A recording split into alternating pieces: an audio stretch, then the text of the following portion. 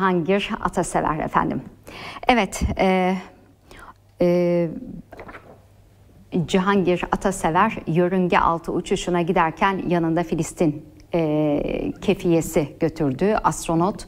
Atasever Filistin halkının yaşadıklarını sembol etmek için yanında kefiye taşıdığını belirtti. Atasever deneyler hakkında da bilgi verdi efendim izleyelim. Türkiye'nin ikinci astronotu Tuva Cihangir Atasever, Filistin için anlamlı bir duruşa imza attı.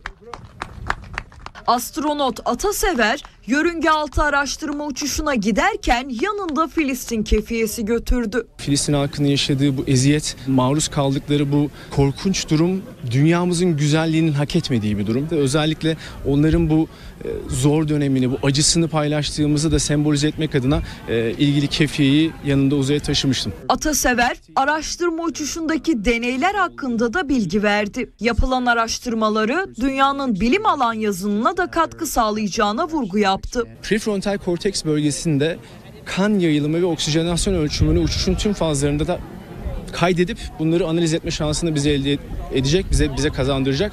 Sağ bacağımda taşıdığım Uzikat ismini verdiğimiz uzayda insülin kalemi testiyle ilk defa iki farklı doz aktarım mekanizmasına sahip olan insülin kalemleri mikro yer çekimi koşullarında dozları aktarılmış oldu.